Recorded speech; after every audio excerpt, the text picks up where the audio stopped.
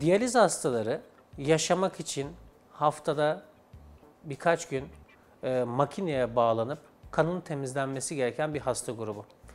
Bu temizleme işlemini yapmak için koldaki, çoğunlukla kolda, bazen kasıkta damarlar birbirine bağlanarak fistül oluşturulur.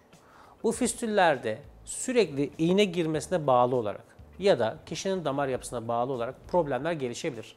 Problemden kastımız nedir? Damarlarda daralma olabilir. E, fistülün tamamen tıkanması olabilir. E, genişlemeler olabilir. E, ele giden kanı çalma gibi birçok birçok birçok problemler olabilir.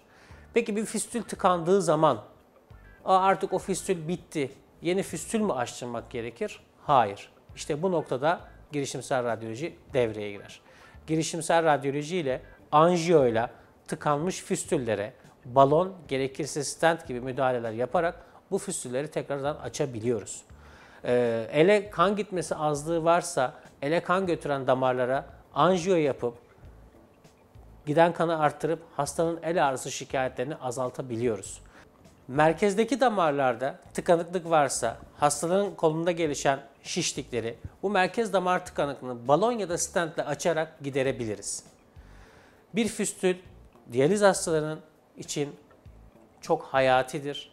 Tıkandığı zaman hemen yeni füstül açmak gerekmiyor. O füstülü girişimsel radyolojik yöntemlerle açabiliriz.